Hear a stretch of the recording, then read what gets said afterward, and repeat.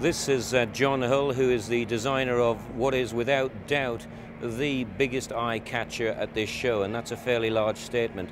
John, what uh, were you attempting to do with this vehicle, and give us a bit of background about it? Well, with the, the SUV market being so oversaturated right now, we wanted to try to approach this vehicle in a very different way. So we're trying to combine the aspects of a high performance sports car with the utility of a sports utility vehicle. It has uh, a very, very aggressive stance to it. Uh, a rumor tells me that it was actually code named Mad Max. Is that right? Yes, yes. That was an internal code name for the project when we were working on it. Uh, and then the final name uh, that we came up with was uh, SSU. And that stands for? The Sophisticated uh, Sports Utility.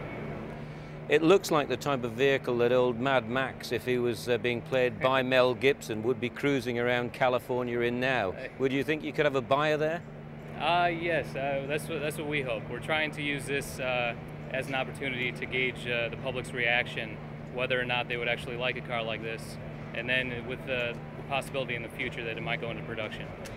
Just how wide is it? Because that's one of the biggest things that hit you straight away. It looks absolutely huge. It is. It's uh, it's really wide. It's almost as wide as a Hummer. It's actually three inches wider than the Suburban. And could you actually put it into production um, if you got the go-ahead? Well, there are certain things that would have to be toned down a little bit. Uh, this is a concept car.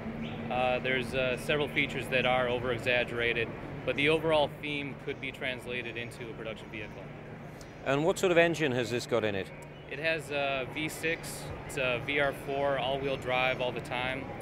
Uh, it's 310 horsepower, twin turbo.